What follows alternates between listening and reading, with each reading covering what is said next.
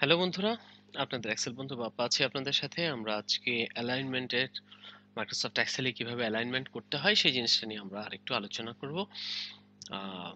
Alignment আসলে জিনিসটা অনেক চমৎকার একটা জিনিস যেটা অনেকেই বুঝেন না যে কীভাবে অ্যালাইনমেন্টটা প্রপারলি করতে হয়।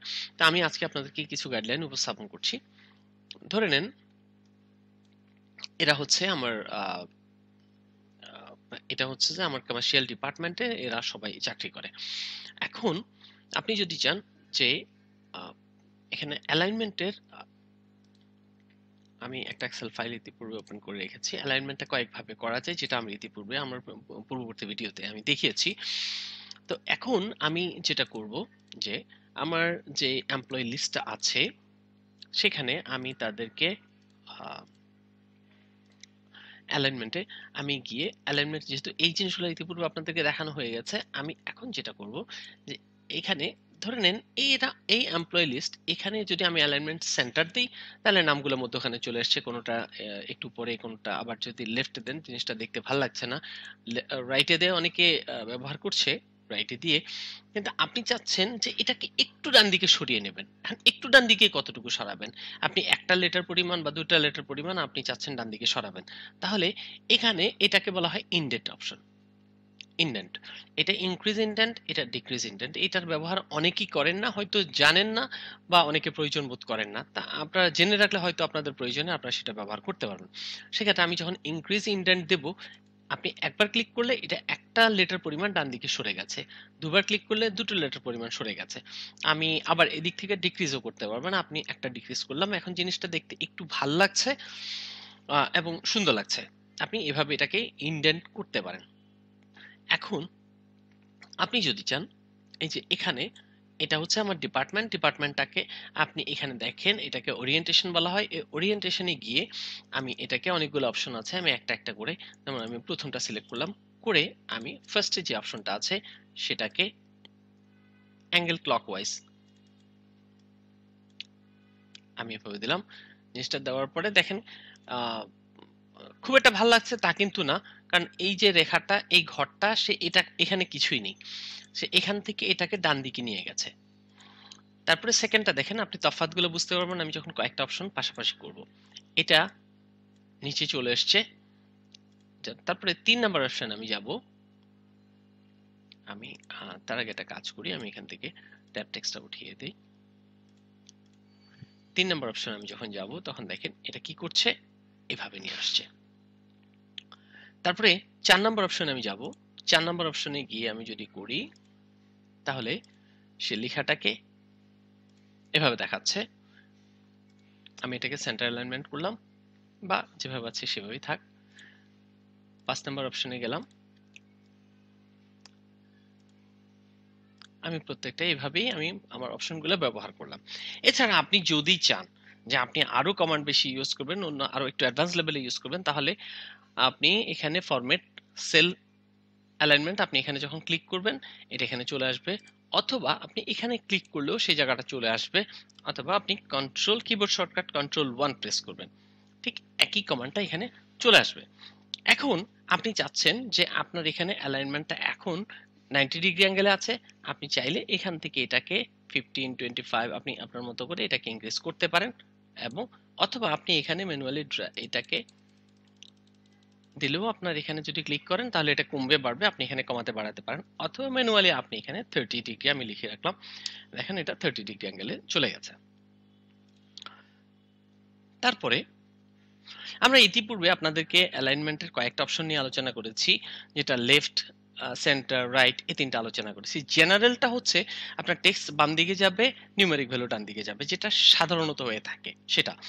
আর তারপরে ফিল, জাস্টিফাই এই জিনিসগুলো আমরা পরবর্তী সেন্টার অ্যাক্রস পরবর্তীতে আমরা যখন অ্যাডভান্স লেভেলের বর্ণনা করব তো সেই জিনিসটা আমরা তখন আপনারা তখন বুঝবেন। আমি আলোচনা করব ইনশাআল্লাহ। এখন তো এই হচ্ছে অ্যালাইনমেন্টের যে ডিফারেন্ট অপশনগুলা। তা আমি সবগুলাকেই আমি এটাকে সিলেক্ট করে আমি এখান থেকে এটাকে আ সেলে গিয়ে আমি এটাকে সবগুলাকে জেনারেল করে দিলাম। আমি টেপ টেক্সট উঠায় দিয়ে আমি জেনারেল করে দিলাম। জেনারেল করে দিলে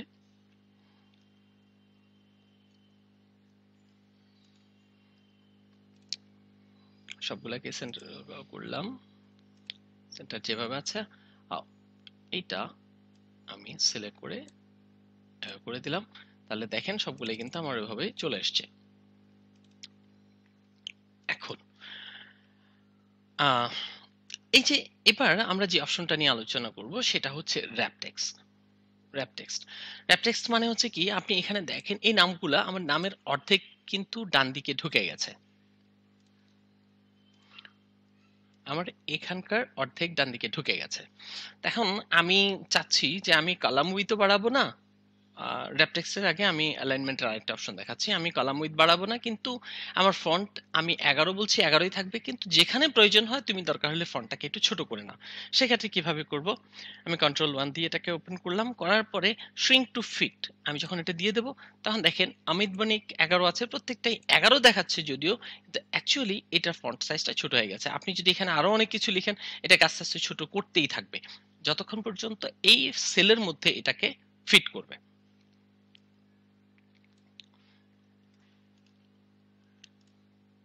আমি এটা উঠিয়ে দিলাম। উঠিয়ে দেওয়ার পরে এখন দেখেন নামটা এখানে লুকিয়ে গেছে অনেক অংশটুকু। আপনি এখানে ডাবল ক্লিক করে এটাকে ইনক্রিজ করতে পারেন। এখন এমন যদি হয় যে না, আমি আমার এই যে কলাম উইথ আছে, এটাকে আমি ইনক্রিজ করব না। দরকার হলে লেটারটা ভেঙে নিচের দিকে চলে আসুক। আমার নামের যে বাকি অংশটুকু যেটা আছে, এটা ভেঙে নিচে চলে আসুক। সেক্ষেত্রে আপনাকে যেটা করতে হবে র্যাপটেক্স এখানে যখন ক্লিক করবেন, তখন দেখেন যতটুকু সে এখানে ফিট করে, করতে পেরেছে, বাকি অংশটুকু সে নিচের লাইনে নিয়ে আসছে। এখানে অপ্রয়োজনীয় দুটো স্পেস আছে।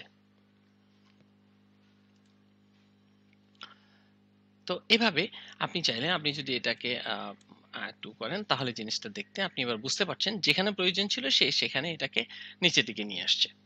এখন আপনি যদি চান যে, না, আমার এই জায়গাটাতে আমি প্রত্যেকটা নামের প্রথম অংশ আমি উপরে রাখব, তারপরে টুকু নিচে। এভাবে, যেভাবে দেখাচ্ছে সেভাবে নিয়ে আসব। তো সেই ক্ষেত্রে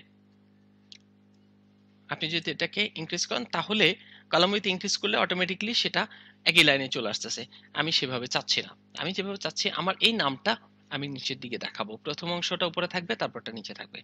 তা আমি অনেকেই দেখেছি যে কাজটা করে, এখানে রাখে, রাখার পরে স্পেস অপ্রয়োজনীয় স্পেস দেয়। স্পেস দেওয়ার পরে যখন এই ঘরটুকু পার হয়ে যায়, তখন সে নিচে চলে যায়। এভাবেই কাজটা করে।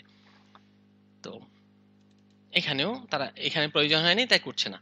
কিন্তু আপনি যখন এই কলাম উইথটাকে ইনক্রিজ করবেন, তখন দেখেন অমিত বণিক নামটার মধ্যখানে অপ্রয়োজনীয় স্পেস আছে, এটা একই ঘরে চলে আসছে, একই লাইনের মধ্যে চলে আসছে। তা আপনি সেই জিনিসটা চাচ্ছেন না। তাহলে এটা করারও উপায় আছে। সেটা কি?